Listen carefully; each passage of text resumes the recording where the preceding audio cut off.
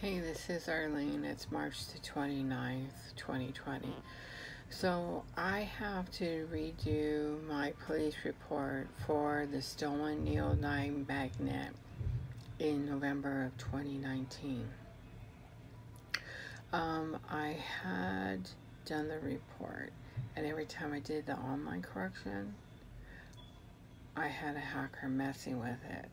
So the report was ultimately rejected and deleted. So I did save a copy of it and I was printing it to redo it and I have a hacker blocking me from the printing. Now once I did the tweet and stuff, started doing it, then the printer started working. So that's just another example of a hacker, which is probably in my apartment building. And during this time I was doing this, um, apartment 315 was stomping while I was doing this. So I just wanted to do this really quick video. I'm going to resubmit the report today. Then after that, go check my car and if my battery pack's not there, then I'm going to do a, a report about someone coming into my apartment and taking my battery pack.